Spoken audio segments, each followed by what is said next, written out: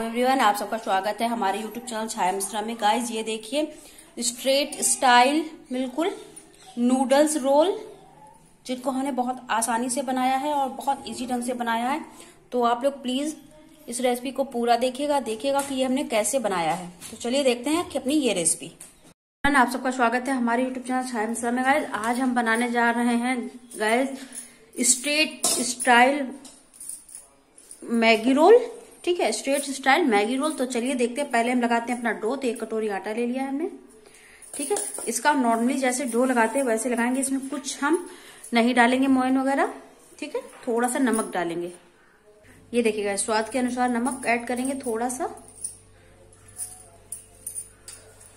और अब इसे हम हल्का पानी डालते हुए गूथ लेंगे।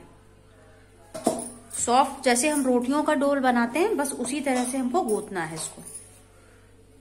इसका जो ग्लूटिन है, वो एक्टिव हो जाए इस वजह से। ये देखिए गाइस हो गया है तो इसको हम ढककर रख देंगे पाँच मिनट के लिए।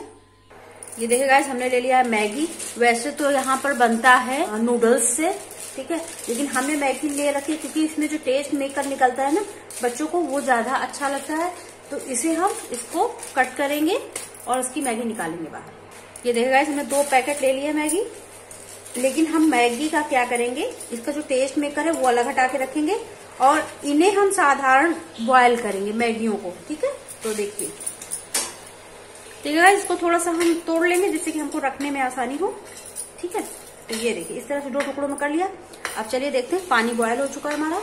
ये देखिएगा पानी बॉयल हो चुका है तो इसमें हम डालेंगे एक स्पून अपना ऑयल जिससे कि हमारी मैगी आपस में चिपके नहीं, और आप डालेंगे थोड़ा सा सॉल्ट बिल्कुल टेस्ट के अनुसार। ज़्यादा नहीं ऐड करेंगे। और अब इसी में हम अपनी मैगियों को बनाएँगे। एक बात और गाइस बिल्कुल कुक नहीं करना है। इनको लगभग लगभग सिक्सटी सिक्सटी परसेंट कुक करना है हमको। ये देखिए गाइस इस तरह से निकाल कर देखेंगे कि हमारी मैगी कुक हुई है या नहीं। तो ये देखिए, हम ऐसे मैश कर रहे हैं तो हमारी मैगी हो गई है। पूरी तरह से नहीं हुई है, मगर हो गई है काफ़ी हद तक, ठीक है? तो उसको देखिए क्या करेंगे इसका पानी फेंकेंगे नहीं। देखिए कि क्या इस्तेमाल हमें करना है इस पानी का। ये देखिए इस तरह से छन्नी रख ली है और इसमें हम ये मैगी अपनी गिरा लेंगे। तो इसका पानी जो है कढ़ाई में चला जाएगा, क्योंकि हमें यही पानी यूज़ में भी लेना है। ठीक है? और अब इसे हम ठंडा करेंगे। ठंडे पानी में इसको डालेंगे ना तो पूरा उसका जो कुकिंग प्रोसेस है, जैसे ये इस बर्तन में ले लिया हमने तो इसी में हम ठंडा पानी डाल देंगे तो ये कुकिंग प्रोसेस इसका बंद हो जाएगा। ये देखिए इस तरह से। ठीक है? तो इस तरह से हम इसको धुलेंगे। ठंडा हो चुका है, धुल भी गया है। तो इसको हमें क्या करना है? इसमें ही निकाल देना है जिससे कि सारा पानी इसका निकल जाए और हमारी सूखी बिल्कुल मैगी ड्राई हमको मिल जाए। ठीक है? इस तरह से। क्योंकि तो हमें बिल्कुल ड्राई मैगी चाहिए। ये देखिए गाइस ये हो चुका है। तो अपने जो ये टेस्ट मेकर है, इनको हम निकाल के इसी में मिला लेंगे ठीक है? मिला लेंगे। नमक की ज़रूरत नहीं है, क्योंकि हमने अपने डो में भी नमक मिलाया था। ठीक है? तो नमक की भी ज़रूरत नहीं पड़ेगी। और मैगी में तो नमक होता ही है। इसीलिए हमने मैगी ली है। आप चाहें तो आप नूडल्स ले सकते हैं। मैगी हमने इसीलिए ली क्योंकि नमक वगैरह नहीं उसमें ऐड करना होता है बहुत कम इंग्रेडिएंट से ये बन जाता है। ठीक है? तो सारे मिला लेते हैं। ये देखिएगा, इसको अच्छे से हम शॉर्ट टेस्ट मेकर को मिला देंगे मैगी में अपनी। तो और कोई मसाले की ज़रूरत नहीं पड़ेगी। आप चाहें तो चाट मसाला वगैरह यूज़ कर सकते हैं। देखिए, बच्चों को मैगी का ज़्यादा फ्लेवर पसंद आता है। इस वजह से हमने ये मैगी, ठीक है? तो इसका टेस्ट उन लोगों को, बच्चों को बहुत पसंद आता है, ठीक है? तो अच्छे से इसको मिला देंगे। ये देखिए। अच्छे से मिल जाएगा। फिर ये देखिएगा थोड़ा सा चटपटा बनाने के लिए हम थोड़ा सा अपना लेंगे मिर्ची पाउडर। बिल्कुल थोड़ा सा ही लेंगे, ठीक है, क्योंकि बच्चों के लिए बना रहे हैं। वैसे आप हरी मिर्च भी डाल सकते हैं इसमें, प्याज भी कटा हुआ डाल सकते हैं। ये देखिए धनिया पाउडर, हम बच्चों के लिए बना रहे हैं तो हम इसमें सिर्फ़ ये डाल रहे हैं और इसको मिला देंगे सारे को। काफ़ी अच्छा टेस्ट आएगा इसका। थोड़ा सा इसमें ऑयल डालेंगे, जिससे कि आपस में चिपके नहीं। ये देख सकते हैं गाइस थोड़ा सा ऑयल डालेंगे, एक टेबल स्पून जिससे कि आपस में चिपकेंगे नहीं, ठीक है? हमारा हो चुका है। मेन इंग्रेडिएंट तो चलिए अब और भी करते हैं, आगे दिखाते हैं आपको कि अब आगे क्या करना है। ये देखिए गाइस हमने कस्तूरी मेथी डाली है। आप धनिया अगर डालना चाहते हैं तो धनिया को धुल लीजिए और उसको ड्राई कर लीजिए, फिर डालिएगा। हमने धनिया इसमें इसलिए नहीं डाली क्योंकि अगर हम धनिया डालते हैं तो हमें धुलना पड़ेगा धनिया को, ठीक है? और धुलने की वजह से उसमें पानी आ जाएगा तो ये हमारी गीली हो जाएगी। तो हमें गीला नहीं करना है इसको। ठीक है? धनिया आपके पास अगर हरी, धुली हुई, सूखी, कटी रखी है, तब तो आप यूज़ कर लीजिए। नहीं तो उसको छोड़ दीजिए स्किप कर दीजिए। देखिएगा ये अपनी मैदा ले लेंगे, ठीक है? अच्छे से सूखा आटा थोड़ा सा मैदे का ही लगा लेंगे और इसकी हम छोटी छोटी लोइयाँ तोड़ लेंगे, ठीक है? और इसको हम बेलेंगे तो देखिए कैसे। ये देख सकते हैं, इस साइज़ की हमें लोइयाँ तोड़नी है, क्योंकि हमें बड़ा बड़ा बेलना है, ठीक है? ये देख सकते हैं आप इसकी। एक नी, बड़ा नींबू जो आता है उसी के आकार की हमें लोइयाँ तोड़ लेनी है।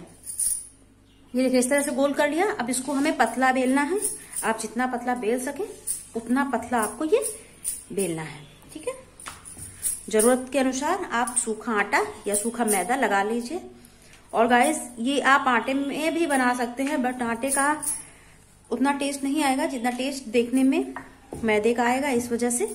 ठीक है, आप आटे का भी बना सकते हैं और मैदे का भी बना सकते हैं बट हमने बनाया है मैदे का। तो इसको हम अच्छे से बढ़ा लेंगे खूब पतला पतला सा। ये देख सकते हैं गाइस इसी तरह से पूरियाँ हम बना बना के रखते जाएँगे, सारी रख बना लेते हैं, फिर मिलते हैं। ये देखिए सारी की सारी हमारी बन चुकी हैं। ठीक है रेपर ये देख सकते हैं। तो चलिए इनका बना, इनको चिपकाने के लिए ग्लू बना ये देखिए एक स्पून मैदा लिया हुआ है। इसमें एक स्पून हम पानी ऐड करेंगे तो इसका एक घोल बनाएँगे, ठीक है? इस तरह से, ये देख सकते हैं। बस, यही घोल हम चिपकाने में इसको लगाएँगे। गाइस, दूसरी साइड में हमने पानी भी रख दिया है बॉयल होने के लिए, क्योंकि हमें स्टीमर बनाना है। इसलिए अगर आप लोगों के पास स्टीमर हो तो आप वो स्टीमर ले सकते हैं। ये देखिए गाइस एक हमने अपनी ले ली है, ठीक है? और इस पर अब हम थोड़ी थोड़ी मैगी उठाकर रखेंगे, ठीक है? इस पर अच्छे से और इसको अच्छे से रोल करेंगे थोड़ा थोड़ा इस तरह से। इस तरह से रखेंगे और इसको हम रोल करेंगे, ठीक है? तो अच्छे से टाइटली हमको रोल करना है। इस तरह से। ये, इस साइड में थोड़ा सा यहाँ पर बचाते हुए, जिससे कि हमारा बाहर ना निकले, ठीक है? इस तरह से। और इसको टाइटली इस तरह से रोल कर देंगे। ये देखिए।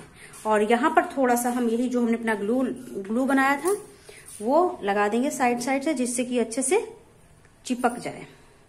इस तरह से। ठीक है? टाइट ये हो गया है टाइटली और साइड में यहाँ पर अपना हम थोड़ा सा ग्लू लगाएँगे यही, जिससे कि ये हमारा थोड़ा सा ये चिपक जाएगा तो ये अच्छे से खुलेगा नहीं। ठीक है? इस तरह से। इस तरह से। ठीक है? इसी तरह से सारे के सारे बना के रख लेंगे। ये देख सकते हैं गाइस सारे रोल्स बनकर तैयार हैं। तो चलिए इनको स्टीम करते हैं। ये देखिए गाइस हमने स्टीमर बना लिया, इस पर ऑयल भी लगा दिया है। तो अपने सारे जो मैगी रोल्स हैं, उनको हम इस पर रख देंगे इस स्टीम होने के लिए, इस तरह से। ये देखिएगा हमने एडजस्ट कर दिया तो इसको हम ढकेंगे अच्छे से और इसको हम स्टीम करेंगे। ठीक है, लगभग लगभग हमें 10 मिनट लगेंगे स्टीम करने में तो स्टीम करते हैं, फिर मिलते हैं। ये देखिएगा पानी हमारा बॉयल होने लगा था अच्छे से स्टीम निकलने लगी थी अच्छे से, तभी हमने ये अपना रखा हुआ स्टीमर और थोड़ा सा आटा यहाँ पर लगा दीजिए, जिससे कि इसकी स्टीम जो है वो बाहर ना निकले और हमारे जो अच्छे से ये कुक हो सके। तो अब 10 मिनट बाद मिलते हैं आके और देखते हैं इनका हाल कैसा है। ये देख सकते हैं गाइज़ आपको ऊपर से ही दिख रहा होगा कि ये हमारे कुक हो चुके हैं तो हम फ्लेम बंद कर देंगे और इसको थोड़ी देर के लिए ठंडा होने देंगे इसी तरह से। ठीक है? इसी तरह से थोड़ी देर के लिए इसको इसी में ये देखिए, ये जो हमने छेद इसका बंद किया था, रैप किया था, जिससे कि भाप ना निकल पाए तो उसको भी ओपन कर देंगे, जिससे कि इसके अंदर की एयर है, वो निकल जाए, और ये ठंडे हो जाए, इनको हम ठंडा करेंगे। ठंडा करने के बाद फिर मिलते हैं आके ठंडे हो चुके हैं, इनको हम अलग निकाल के रख लेंगे, ये देख सकते हैं, इसमें पानी लग रहा है, लेकिन कोई दिक्कत नहीं है ऐसे अलग हटा के रखेंगे, पलट कर। गाइज़ अगर आपको फ्राई नहीं करना है, ऐसे ही खाना है तो आप ऐसे खा सकते हैं बट हम इन्हें फ्राई करना भी बताएँगे आपको। तो चलिए, देखते हैं।